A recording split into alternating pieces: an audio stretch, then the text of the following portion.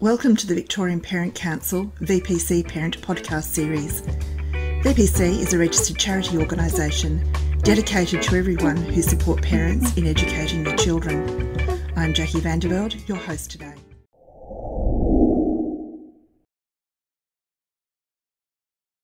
Good evening and welcome to our very first VPC Live. Uh, so, uh, this is a bit of an experiment. So, if we get it wrong, um, with the controls and so forth. Bear with us. Um, we're both just uh, discussing that we've had quite a, an interesting and long day. So, uh, so anything can and will and might happen, but uh, we'll, we'll of course be extremely professional. So this is um, a bit of a treat, really, because uh, Amanda and I had a chat at the beginning of the year about starting starting starting strong at the beginning of the year, and uh, I think we've both started our uh, our our years with some of our blogs and some of our writing with with. Uh, 2020, wow. so I should probably introduce myself. I'm Jackie Vanderveld, um, education consultant, and I do a fair bit of uh, work and, and, consultation work with the Victorian Parents Council. And I'm going to hand over to the lovely Amanda Lecaudé to say hello and introduce herself. Hi, thanks, Jackie. Yes, Amanda Lecaudé, and I'm an academic life coach with organising students based in Melbourne, but work with students across the country these days, uh, primarily from year six through to year 12, and, and also with schools and, and, um, and parents as well. Lovely. So, Amanda, let's start this brave new world of learning from home. And, uh, and as I said to you the other day, I don't often have a whole lot of um, praise for the Victorian government, but I, I actually kind of do this time around because they've actually said, here's the plan, here's what we're going to stick to, this is it. Um, I'm not sure where they're at at the moment, but I think there's the decision to learn from home, brave one, but also, too, I think important in terms of getting some sort of stability for a plan for the rest of, at least for term two.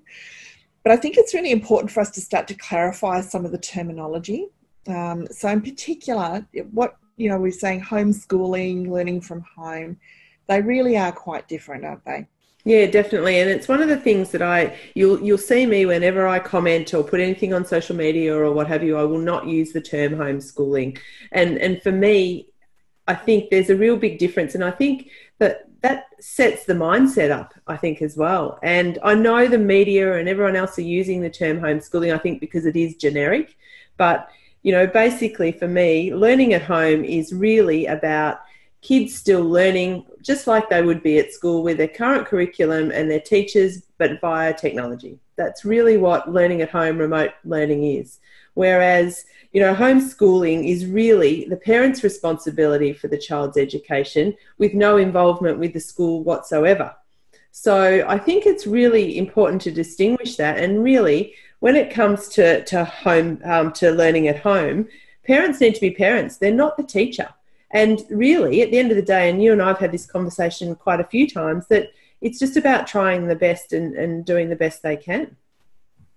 And I think that that's a good that's a really good distinction to make first up. And I think that you know certainly homeschoolers that they are registered, they go through a registration process, um, they are um, absolutely, you know, developing a curriculum that is um, of their own choosing. Whereas this, this um, to a certain extent, um, but the the uh, the learning from home is all about uh, following the direction from school with the material that is being provided by school, using the mechanisms um, that they've made available for um, you know for that communication.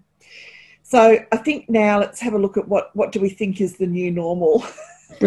well, I think I think Jackie, it's different for for uh, most schools, and and in in the work that I do with students, I'm hearing lots of different ways this is actually working, and you know, for the majority of kids, um, you know, a fair chunk of them are still following timetables. Some of them are sort of left to their own devices. Um, and there's a real mixture of, of, of, ways that schools are doing this. And uh, I think it's really important, I think, for parents just to really understand how their school's, you know, working. And I guess, you know, to, to give, uh, and that's what we're obviously talking about tonight, to give parents some, some tools and strategies around how it's working. But I think the, the one thing is let's try and change the mindset. You know, there's no point focusing on what happened at school and how it works at school and, and those sorts of things. But, you know, open our minds up to, you know, the, this this new platform, um, whether it be easy or not. And I appreciate for lots of parents it isn't. Uh, and for students, it, it, you know, a lot of the students I'm speaking to, it's taking quite a bit of time to, to get used to as well. Sure. And I think that's a nice little segue then into talking about mindset. Um, you and I have talked a lot about this, so I'm interested. I'll, I'll let you run with it first because I've got some. I probably come at it from a slightly different angle. well, I think you know. Again, I talk about it too. You know, mindset's very important to a student's learning, and one of the biggest things is obviously we want children to have a, a, growth mindset rather than a fixed mindset and be adaptive and, and open to change and open to learning and and rather than you know it's too hard I can't do it and you know some of those negative connotations. But one of the biggest things the biggest predictor of a child's mindset is their parents mindset about failure which I you know I just think is is amazing. And one of the things that I guess I tell parents to, to focus on in particular is focus on the process rather than the outcome. So, you know, this is how it assists children with their with their learning and, and obviously, you know, in, in hopefully achieving the marks we want them to get. But, you know, rather than focus on grades, accomplishment, intelligence, ability, you know, let's focus on the learning, the effort, the work ethic, the improvement, those sorts of things. Look, and I, I, really like that, and I think that one of the, the, the, I suppose, the bit that I will add will be really around what do parents, more can parents bring to this, and and we're very much as parents we're models for our children, so that if we are, you know, demonstrating and culture, you know, nurturing a culture and an optimistic mindset, um, what does that mean and what does that look like? And I think that the very first thing is that what it isn't, it isn't rose coloured glasses. So um, I think that this situation is tough. I mean, there's there's no two ways about it. I think some families and will go through this, will sail through this period of learning from home, and I'm um, sure it'll be different, but they'll come out of it, you know, well. Uh, others are clearly going to struggle uh, for a whole variety of reasons, and that's not because they're uh, they're lacking in parenting skills or anything like that. It's just it, it is it's tough.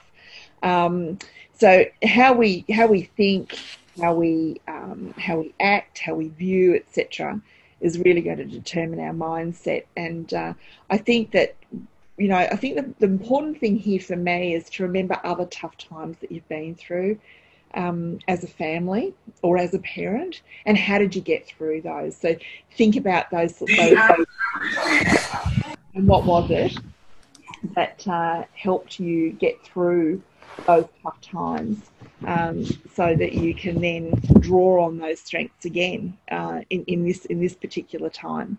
But also, to I think it's to um, to be adapt to being to optimism in a, in a certain sense is to view this situation as a temporary situation.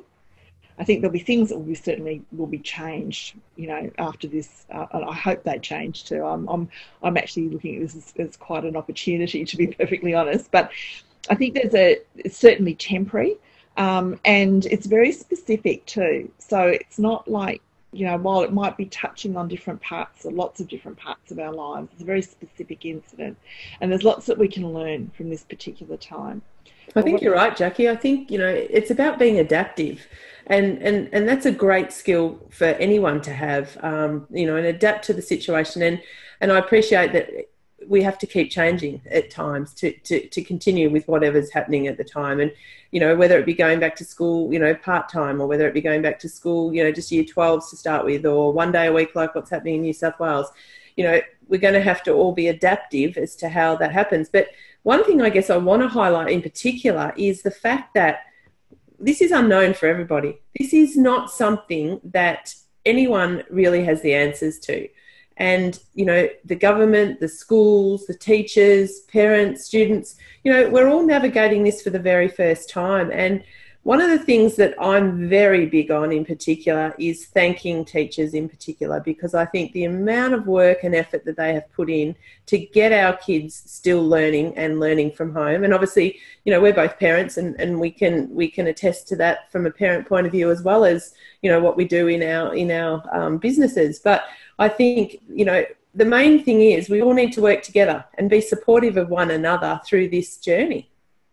You're right, and that really speaks to the point about agency as well. Is that you know parents can make a difference um, in this situation. So you know that's that's also part of that optimistic outlook. I think that's an incredibly important you know role for parents is to have that optimistic mindset because it will uh, be passed on to their children. So, what challenges, I'll ask you first, Amanda, what challenges are you seeing or hearing about from um, the students and families you're working with? Well, it's very, it's very interesting because, to be honest, I'm hearing more positives than I am actually challenges. Now, there's definitely challenges by all means, you know, and I think most kids, you know, the fact they're getting used to the process, they're getting used to the amount of work. Some are finding a lot more work than perhaps they had um, when they're at school. Now, that is a challenge, and that is a challenge that I'm encouraging students to speak to their teachers about. Um, some of them are saying to me they reckon they're getting more work than they were when they were at you know when they're in the school in the classroom so it's important and and i've had communication with some teachers around that today um, as well and i think they can't gauge. You know it is harder for them to gauge you know how much work to give students. So that's where it's really important for parents to i guess work with their children to to speak to their their teachers and encourage them you know to do so. Likewise to be honest i've actually been in touch with the school because i feel one of my children actually needs more work. So i've gone the other way um, and you know he's he's racing through it and I don't know if that's, you know, I can't gauge that either. So I've been in touch with the school about that, and they've been, you know, again, I I cannot thank them highly enough. I think they're just so communicative and uh, and helpful. But in terms of some of the other challenges, you know, I've been dealing with a lot of Year 12s, obviously, and they're probably the biggest group that I feel for at this time. You know, there's a lot of social change, a lot of, you know, they're missing out on the lasts of their athletics carnivals and their swimming carnivals and there, you know, all sorts of different activities. And, and that's tough. Um, but, you know, motivation is probably one of the, the big things that a lot of those kids are struggling with. And I guess until we get outcomes as to what's happening around their assessment, that, that is a little bit tough. But having said that, I, I, don't think they'll be, you know, put out to dry. I think they will be well looked after. They're all in the same boat. And again, whatever will be, will be um, around that. Um, and then, you know, as I said, most of them are positive because really a lot of kids are saying to me that they're, they're more focused. There's not the distractions of what happens in the class. You know, they get through the, the teacher can communicate the work better, then they can get their work done, you know, quicker. Um, you know, a lot of them are loving the fact they don't have to get up. They can get up literally just before they have to get online. You know, they don't have to wear school uniforms. So there's there's a whole lot of those sorts of things coming out which you know is good to see. It is good to see, and I think that, that one you know little anecdote from my world is we were all you know trying to support the local cafe still, uh, and uh, so you go down and collect your mail and get your coffee, and we're all standing you know two meters apart, and the, and there's a a batch of dads, you know, down down the group of dads have all brought their kids out to um, have a bit of a morning tea break and, and get get coffee and mail and a few essentials from the local shop, and it's been really interesting um, the coffee queue conversation, where um, we've finished all of them, and mainly primary. Okay, so these are mainly primary students. We've finished all of our work by lunchtime. The school work we've finished the school day and that's just a really and again what are you doing with them? So there's that challenge where you know there's some real struggles going on with you know parents feeling that they've got to get through every single piece of this work and and they don't. and perhaps some guidance some more guidance from teachers. And so i think your, your comments about feeding back to the school and saying you know help here what, what what's essential and what isn't i think that's an important point but uh, also too we're racing through this um, we seem to be going, getting through everything really quickly. Is that okay? Um, and then and then the questions are arising. What are they doing the rest of the time at school if we're getting through this now? But you're right. The dynamic is such that they don't have the distractions, and there's a whole lot of other stuff that goes on at school too that uh, you know that takes up the day. Uh, so you know.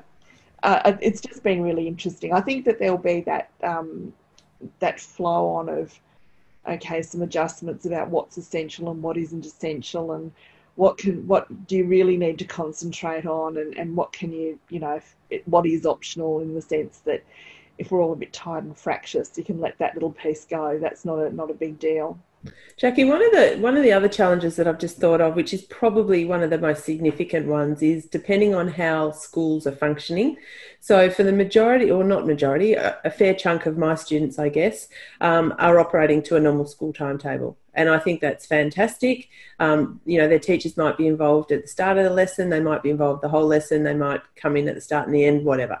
But students have got a structure and a routine and a plan, and I think that's really important. Where some of my other students, you know, they're given work at the start of the week, they're sort of, you know, checking in with the teachers a little bit, but they're pretty well left to their own devices. Now, I think it's really important that these kids have some sort of routine and structure, that they have a roadmap to follow, because otherwise it becomes really hard. And I think even for families, like you were saying, you know, these primary school kids, it's still important for families to have some form of routine and structure in place and, and to let kids know, you know, sort of the timetable and, and bits and pieces as well, because we, we all generally work much better uh, under that sort of structure. That's so true. And uh, for people who are listening tonight, Amanda and I have both written um, different sort of different blogs and pieces in the last couple of weeks about exactly this. And uh, so we will be uh, publishing a, an ebook together uh, to to go along with the recording of this webinar or this this um, VPC live, um, so that you can see what our thinking is around that in terms of some recommendations. So that you'll find that quite useful. Um, I think another thing too, another challenge that I'm hearing about is, um, you know, the uh, sharing of uh, technology resources at home, uh, which so we've got, you know, maybe one, maybe two or more children who all need to be on devices. We've got mum and dad and possibly older, you know, some older children who might be at university or also working, all at home, juggling the whole IT situation. And sometimes there's not devices for everybody. So there needs to be some sort of sharing of the devices around around the, the family.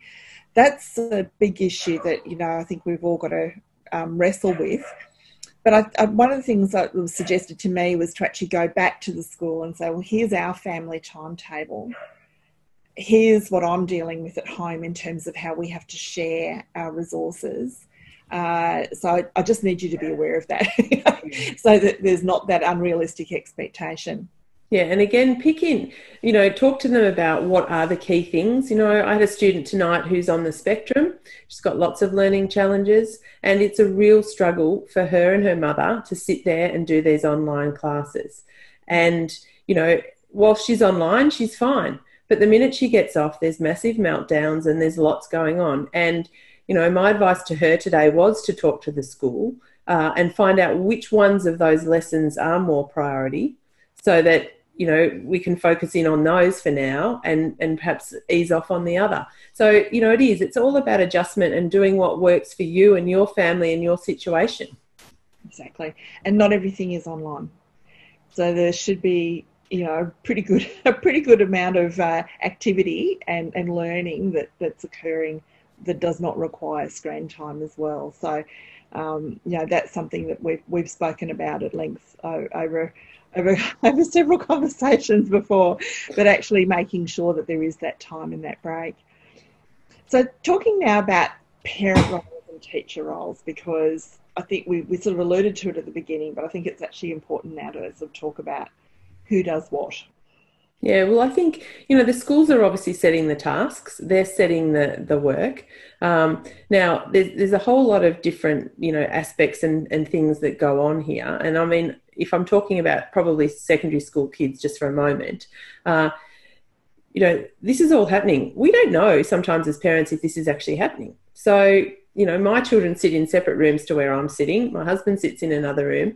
We're presuming they're online. We're presuming they're doing what they're doing. So again, it's important to communicate, you know, and schools to communicate that, you know, to parents.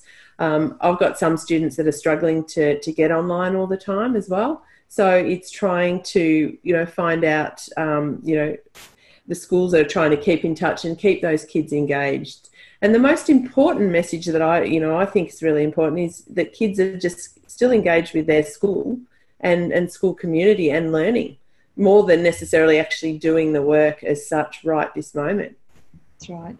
And I think, you know, parents parents are parents, teachers are teachers, you know, and I think that, you know, you're still you've still got to as parents, you've still got to keep relationships intact as well. Number one, definitely. so, you know, beyond this, you're still going to be mum and dad. Uh, so it's important to, you know, to be, to continue to be mum and dad and not take the role of the teacher from that point of view. And I'd sort of liken it to parents being a, being a coach. So coaches coach, they don't play the game. They know the game. They may have played the game in the past, but they're not actually Good. playing game now. So they are the they're what the ones bringing all of their experience to supporting, you know, the the team players. So I think that's a that's a nice analogy just to remember that to, to breathe. There are other people doing this as well, um, but it's important to remain mum and dad because those that relationship with your children is far too important. Yeah, that's what I say as well. It, it's number one, and it goes on beyond this. It's going to go. You know, you want it to go on for a lot longer. But I think the the other thing that's that's really important is to you know recognise we're all going to have good days. We're all going to have bad days. And I mean, even doing what I do and working with students, you know, I've had some challenges with you know a couple of you know a couple of times with my children, and you know again, I, I just communicated with the school about it because I was at a loss to to what what can I get my child to do. And as I said, I've got all the tools and strategies, and you know I know everything in that sense, and and work with lots of students on this. But again, they listen to me because I'm not their parent, whereas I am a parent in this situation, and I have to you know pick pick the battles and and so forth as well. So you know keep your keep you in touch with the school. Uh, and you know, another parent even rang me the other day and said that she, you know, she had a their day just went haywire and they didn't get all the tasks done and so forth. And I said, this is a primary school student. And, and I said, that's okay. Like, don't worry about it. Like, it's not going to be crucial to their learning. If you don't get through everything every day that the, that the teachers have assigned, no one's going to look back in, you know, 10, 15 years' time that they missed, you know, a couple of lessons here and there. That's right. And, and you know, and, and, and in a regular day at school, that would happen as well. You yep. know, um, you know, having having been you and I having both been teachers at some point, um, we, we know we know there are good days and there are certainly days where not a lot happens. Uh, you know, not a lot can happen as well, depending on what's going on. So, Amanda, the unknowns. What don't we know? We don't know what we don't know, but what don't we know now? well, I guess there's a lot we don't know, and you know, for me at the moment, I think you know we just have to trust our government that you know that they're doing the right thing. I think the the challenge and what I, as you said, you, you said you liked you know the Victorian government at the moment with what they're doing with schools. I think I personally think it's good too because the last thing we want is all our kids to go back to school in two weeks' time and then finally have to pull them all home again in you know another week after that. So I think you know that's a hard one to juggle and no one knows the answers to this. We don't we still don't even quite know what's going on with this COVID-19, you know, and and how it's manifesting and where it's manifesting and, and what we can do. So I think there's a lot of unknown still, and we just have to, you know, do the best that we can. I, look, I, I agree. You know, we, you know, it's it's all it's all still very fluid. Um, but what we, what I think is really interesting in this is that, that we've already done the working, the, the learning from home. So if we have to come back to this at some point, we've already got a roadmap yeah. to how this is going to work. So I think there's a lot of capability and competence has been developed, which is um, which has been useful. So we know that it won't be forever. It'll be different. I don't think we're ever going to see something. I don't think we're going to go back to the way it was. Yeah. I think some people wishing that we that we could, but I'm not certain that we're going to be necessarily doing that um, anytime soon. Yeah. And I'm not necessarily sure that we'd want to entirely. I think there are going to be some really interesting changes. Yeah, I think that the key message around that is to keep, for parents in particular, is to keep talking to their children and, and highlighting the fact that this won't be forever.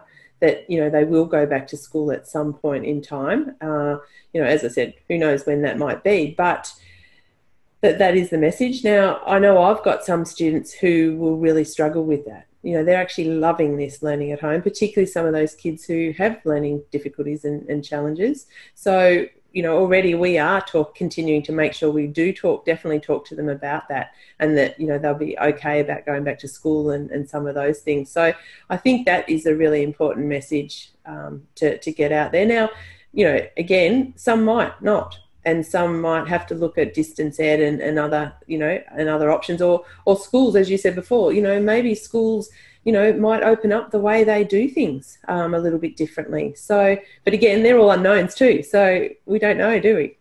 Exactly right. So i think people are probably finding at this point that they've got a little bit of extra time in the day or that their children appear to be racing through the work or perhaps not as engaged with the work and they seem to be sort of at loose ends a little bit. So, what sort of suggestions have, have you come up with that would be still learning and probably stimulating the brain and keeping things in a more formal educative sense, but are still things that can be done from home? Well, I think there's a lot about still developing, you know, kids' independence and and helping out in the home. You know one of the questions i often ask students when i first meet them is what do you do you know in terms of helping out at home? What chores do you do? And and it amazes me sometimes how some kids don't do very much at all. So i think right from a young age you know it doesn't matter what age these kids are you know they can be helping out you know obviously age appropriate but helping out around the home so I know even my, you know, my children, you know, last week I was very busy and I got to the point where I was trying to cook dinner and I had students and I had, um, I had something else on that evening and there was lots going on. And it's like, come on, guys, you've got to help out here. I cannot, you know, manage all of this. But the one message, I guess, around, you know, if we, we help getting our kids to help out, if they don't know how to do something, show them how to do it. Do it, or, you know, show them how to do it, do it with them and then watch step back and let watch them do it. So we're giving them the scaffolding along the way to be able to to do these things ultimately by themselves. And these are things that are going to help them you know in years to come you know knowing how to cook knowing how to clean. Exactly. And you know and, we we've had conversations before about you know i think i said you know we're not raising children we're raising adults. So there's a lot of uh, a lot of skill that that needs to be passed on that really parents are the only ones who can really do that effectively. So yeah, um, but I think there's other things too. It, it doesn't have to be all chore based. You know what I mean? There's there's lots of fun things, as you know. There's you know we they can be cooking, you know, learning things like that. You know, I'm encouraging mine to get out every day, doing some form of exercise, which I think is going to be hard in the next couple of days because the weather's going to be a bit challenging. But you know, um, and the other one is, you know, keeping in touch with their mates. I think is so important. And and whilst as parents we're struggling, a lot of us are struggling with that because it's technology based primarily. You know, gaming, social media, and those things. I think we still have to have our our routines and and our guidance in place around that, but we probably need to relax it a little bit at the moment as well. Yeah, exactly. And not everything needs to be Netflix. Although, can I just say, I think I've binged myself significantly over, over the last couple of weeks. There's stuff that I thought, oh, I can't remember I ever saw this movie, and I've been watching, you know, catching up on all of that. But also, it's a great opportunity for wider reading too. Uh, there's there there are time. This is a good time now for that. And I I remember um, you know, at the time my, my kids were going through, my children were going through school, and there were quite challenging novels and things that they were reading. But there was, um, there were, but there were audio books, so mm. they could actually have the audio book listening to that and following the text at the same time. And that can be a really, if you've got a, a, a you know, a young person who is a bit challenged with reading sometimes, not necessarily they're not readers, but they just find those larger text a little bit difficult, that they're that's actually a good way of getting through them as well. Yeah, one of my students actually talked exactly about that. I asked her what she did in the holidays and did she read her novel that she was meant to be reading? And she said exactly that. She got the audio book and she had the book in front of her and yes, she read it. and that's and that's great. Any you know, any way to get you through, I'm I'm all for it. So well-being. I think this is probably the big and our schools are very concerned about it and have been coming up with amazing ways of checking in with children. But in a lot of ways i mean parents really are the, the guardians at home for this sort of thing. So some well-being tips from your point of view. One of the things that I think, you know, as parents, and I, again, I talk about this sometimes in, in, in my workshops, is that don't just assume everything's okay. You know, you don't hear anything, you you know, and we tend we tend to as parents, we tend to assume, oh, well, there's nothing, no one's saying anything, we're fine. I think it's still very important to check in with your kids, um, you know, on this journey, and again, not hassle them. That's not what I'm saying, but just check in and just perhaps ask a couple of questions and you know are you okay and and what's you know what's working for you at the moment what's not working for you and and and don't put words in their mouth but just just check in from time to time and not just assume i, I agree and i think too parents need to be watching their own well-being at this time because i think that there's certainly you know stresses and strains on uh, their role. Plus, they're probably yeah, they may have lost work too. You know, yep, definitely. Home have lost work. Um, you know, they've been stood down or, or you know, no longer not earning as much if everyone's had to take a bit of a haircut. Uh, and uh, and also too, if you are working from home, you're juggling all of the you know the school, the work, the um, everything else that, go, that goes on in a home. Um, so parent well-being is actually really critical at this point too and I think that we probably need to reassess what it is that we do to boost our well-being because a lot of it a lot of what we do for well-being is outside of the home normally and now that's not as available to us. So if we were exercising you know in a with gym classes or exercise classes that had a bit of a social um, you know social element to it as well that's no longer no longer happening. Although i'm actually very lucky there jackie that my gym has gone online and i'm set up in my living room and we still have the banter with live sessions. So but that's not the norm i get that no, I did see a funny meme yesterday that said 87%, 87% of gym members don't realise that their gym is actually closed. So which is probably, just fortunately, is probably pretty true. Um, but I think it actually gives us a, um, a really good opportunity to, to have these conversations with our children about what is actually important for well-being and for happiness. Yep. One of the things that we know, um, we, we the way in which our brains make sense of these things is actually reference points. And I was doing a bit of reading on reading about this a couple of weeks back, we make a lot of sense of the world by comparing ourselves with others. Um, and so now we're not out in the world uh, to see, you know, who's got what and keeping up with the Joneses. It's actually a really good time to sort of sit back and reflect and, and say, well, you know, again, like we've said, been saying earlier, what is essential? Um, you know, do we need to have all of these things? Are we, you know, can I delay that purchase? Can I delay that?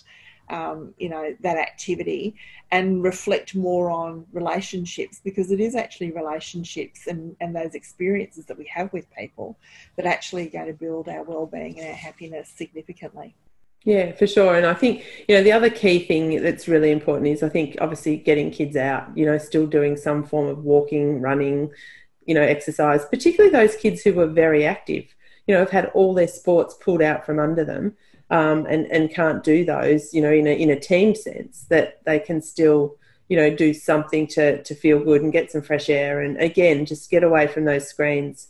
It's it's really interesting because some of the students that I'm hearing from are saying there's too much screen time, which sometimes you would think as a parent, oh wow, never, I don't think I would ever hear my you know child say that.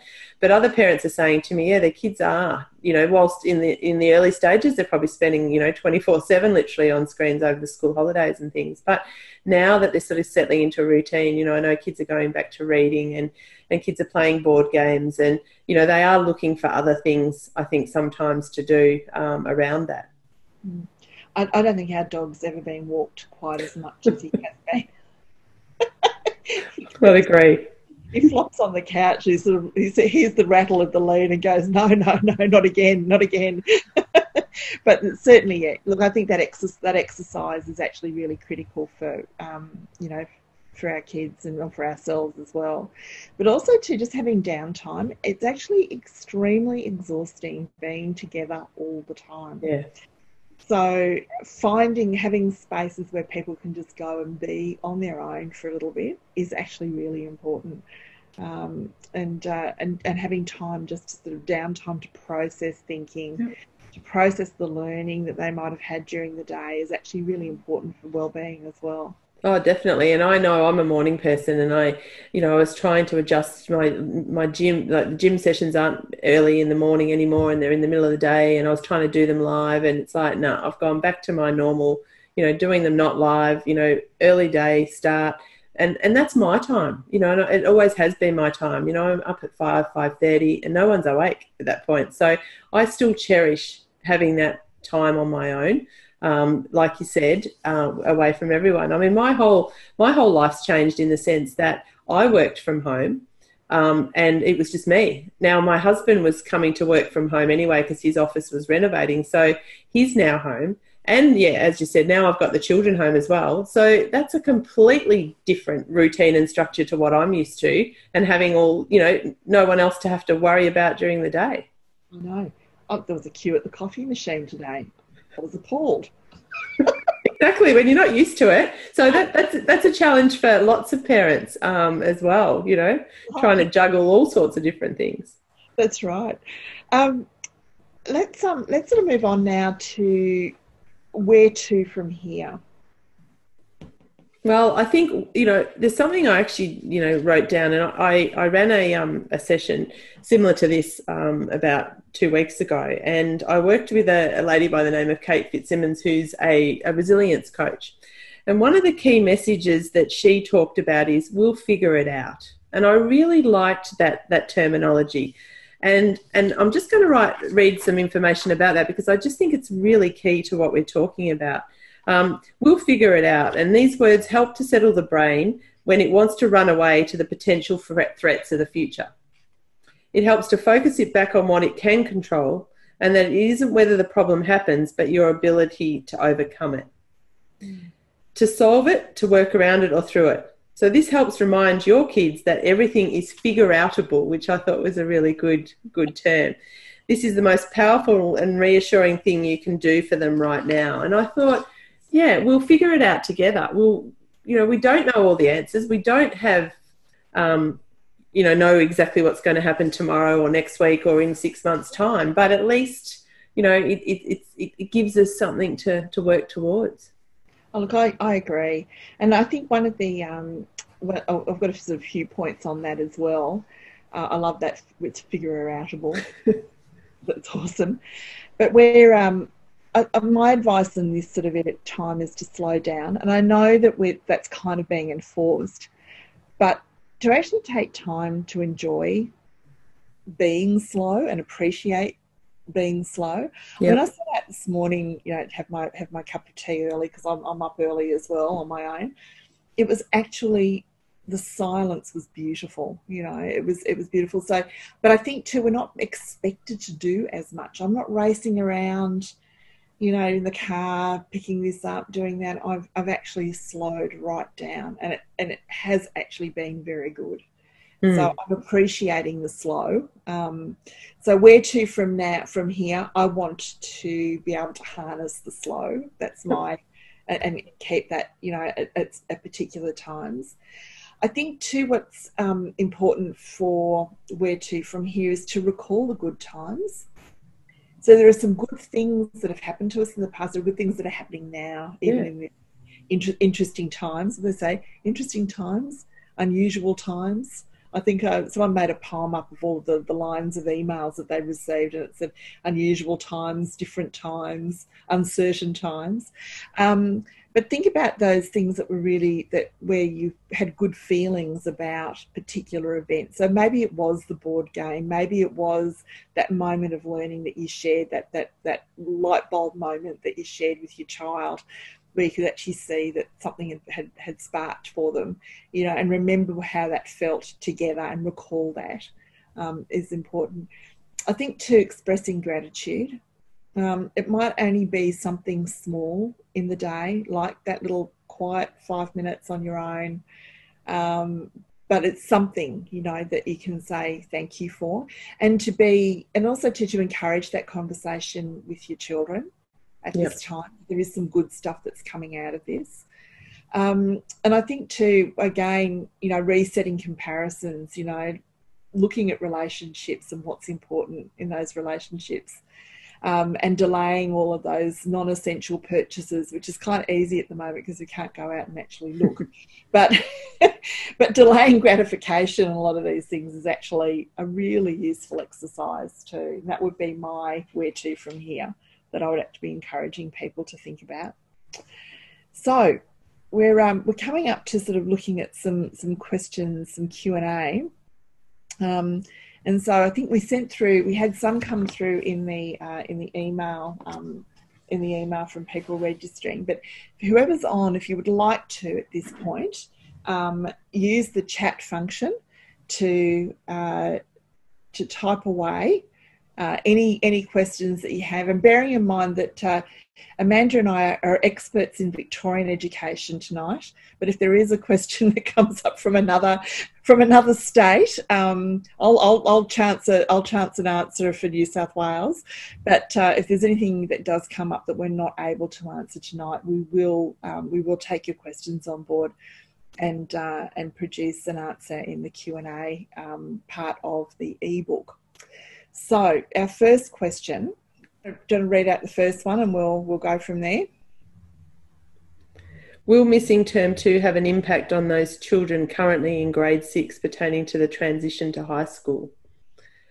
And I guess you know this is this is a key area of where I set my business up in relation to working with students was and is still the focus is between transition from primary to secondary school. So I feel quite you know sort of qualified to to sort of answer that question, and I think not at this stage. You know, I don't think it will impact at this moment if they don't go back to school for term two. Um, where I think it might have an impact is if this drags on and they, for instance, they didn't go back to school for the rest of the year. Mm-hmm. Then we have the challenges of, again, the fact that they haven't, um, you know, they haven't finished, you know, something off and then starting a new thing. But to be honest, you know, year six is pretty much usually a holding pattern. Um, for a lot of kids. A lot of kids get to that point where they are ready to move on. You know, it's a bit like the whole, you know, childcare, you know, move into primary school as well. Um, kids get to a point where, where they're ready and they're, they're more than capable. Um, you know, some schools, you know, obviously uh, work with their kids on assisting them, you know, with transition and, and giving them some, some more tools around it. But if they don't get those now, lots of secondary schools are very good at equipping these kids with these tools too. So, at this moment, I think, yeah, okay, but let's, you know, if, if it drags on, then then maybe that's a different story. But you know, keep in touch because that'll be something that I'm clearly focusing on and, and working on, and and um, we'll be supporting children through that, whatever it may be. And we might um, we might jump back on another VPC live and, and have a discussion about transition. I mean that's an area too that I also work in, and uh, I'd be saying you know that the schools are very well aware of anyway of, of, of transition mm-hmm. and what makes a successful transition um, and the way in which they work with families and the students to get them ready to move into high school. Um, this cohort will have, you know, um, their experiences that they had over term two or for however long this goes for woven into um, that transition process. So I don't think it's something that you need to be overly concerned about. Um, to be honest, because I do believe that schools do an amazing job with transition generally um, from primary into secondary school. Um, and it is about familiarity, um, making sure that they know the basic things of where to find you know their, how to find their way around the school that type of thing um, yeah. in terms of knowledge and content you know there might be some some areas that that need some assistance um, but uh, but generally speaking they do it extremely well so yeah. I wouldn't again I, I, would agree with you Amanda I don't think it's anything that need that people need to be too concerned about at this stage um, we had a question. The next question, I think, was from a teacher. The principal wants me to Google Meet with groups of students five times in the day. Is this too much? Um, feedback is time consuming. Um, I think I think that was from a teacher. Um, So, look, I, I, look, I'm a I, I work in part of the work I do is in instructional design. I think that probably you know, five Google Meets or five video calls replacing like for like classes was probably okay in the first couple of weeks as uh, as we were winding down from the end of term one while we were trying to sort out what learning from home would look like uh, from a school perspective. Um, I do think that that is extremely exhausting for everybody, students and and teachers alike. If you maintain that um, that you know replacing your classroom experience with an online Google Hangout or a or a Zoom meeting like we're doing now. Um, you'll find other ways of doing it, and I think that there's certainly some really good advice around uh, the way in which you can organise your your um, instructional design that actually makes the most of the sorts of things you can only do face to face um, you save those for video calls um, and then you set things up so that students can be doing uh, work you know facilitated but but pretty much you know self-directed as well. Um, lots, of, lots of teachers are also doing um, video you know creating videos and things which can take away from that too can't it? That's right. And it's still giving that um, that is the direct instruction for the students. Um, and there's very quick and easy ways of doing it. All of the all of the uh, software that you're using, Google Hangouts and um, Zoom and Teams and whatever else you're using, um, all have the ability for you to make little quick short videos. Even your phone, your mobile phone, you can make them on, on those as well and upload them into whatever learning platform that you've got. But if that person wants to contact us directly, um, again, we're more than happy to give you give you some uh, some additional information on that as well. Um, I think the next question was what is happening with special schools during the pandemic? Have you heard anything, Amanda? Because I did a bit of ringing around today to get ready for this one. Yeah, no, I, I haven't heard anything on that front at all. Uh, so I rang I rang the department and um, to get some information um, specifically for this question, and and it wasn't that they weren't helpful; they were. It's just I couldn't get anybody at the time because they were all flat out. They're all yeah. flat out be, being busy. So we will get an answer on that um, for for that person. Um, but I think what was really useful though is a colleague actually did send me some really useful tips from uh, a fellow called Jack uh, Jake Miller. Jake is a, um, a, a, technology integration specialist who works in education, and he came up with a whole lot of uh, resources for um, assisting students with particular types of learning needs. Um, so, you know, things like accessibility, um, the accessibility functions on, on apps, um, which are really, really, um, I, I, thought were just awesome. Um, so the, the, the I'll put the link to that article um, from the web on in, into the ebook as well. But you can look him up. He's called jakemiller.net, Miller with an E. 10 tips for supporting students with special needs in remote learning. Now, here's a, um, I think he's probably from the US if they're talking about remote learning, uh, but talks about very specifically how you can um, improve. Um, you know accessibility features on devices so you know speech to text screen magnifiers screen readers um, just contrasting um, high contrasting mode so that it inverts colors of the screen and the text you know, which can be help uh, probably helpful for a lot of us actually, mm. not not just students with um, with particular learning needs, um, but also to you know iPads and other other types of tablets have got all sorts of uh, um, things like predictive text, you know, dictation, feed, typing feedback, text replacements. It can help look up things for you, um, assistive touch functions, and so on that are all actually part of the devices now. So you don't have to go and get new software for them. They already exist as part of the um, the native software. So we'll put that link up because I think that's actually a useful thing that parents aren't necessarily aware of. Um, the schools may not even be aware of it. Something someone would be, but um, there's some really neat features there um, that will be really useful, I think, for parents as well. So look, before we before we wrap up, we will have a an ebook um, that we'll be putting up with the recording on the website. And speaking of websites, we have a brand new Victorian Parent Council website.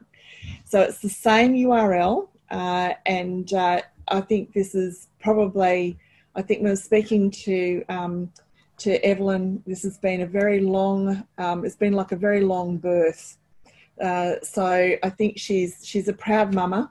It looks amazing. I, I, was on there last night checking it all out, and it really and, does look awesome. And the colours and the vibrancy, and yeah, just a, I just think it's an amazing resource.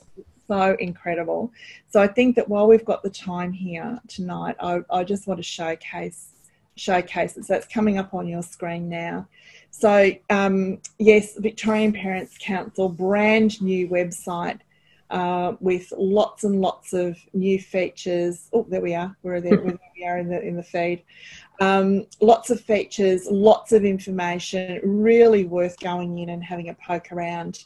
Um, a, a, a random clicking to, to see all of the, the things that um, the Victorian Parent, Parents Council has to offer uh, parents across Victoria, parents of school age children across Victoria.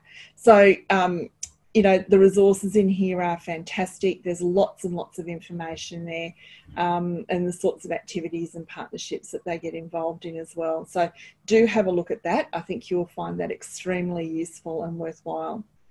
Um, also, too, um, this is the very first VPC live.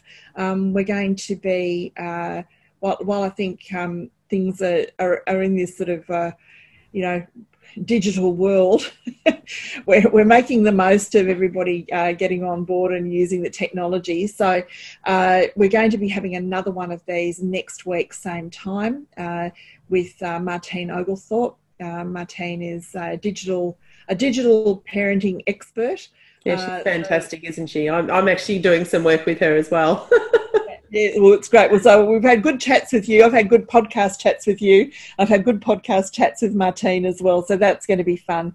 So that's um, learning, living, and working, or working and living in the di- in the digital world. Um, so that'll be a, a that'll be a good conversation to be having as well. But I think at this stage, I think what we might do, um, Amanda, if there's uh, any any final just final tips and comments or takeaways hopes, dreams that you'd like to leave people with tonight? Well, as I said, really, I've highlighted throughout our conversation, you know, do the best you can and we will all figure it out together. We will, we will. And uh, my, my take on this is that it's going to be some really awesome stuff that we learn about each other, that we learn about our own capabilities as parents, um, and I think too, you know, uh, I'm welcome to Radical Parent Engagement 101. You're you're there, living it, actually doing it now, um, in a in a very unique way. And I think there's going to be some wonderful things that you will notice and appreciate about the way in which your children learn, and uh, and notice and appreciate what your teachers, your your ch- uh, children's teachers do as well. So I think on that note, we might say thank you for joining us. Um, it's been great having having you here tonight, Amanda. Always good to talk.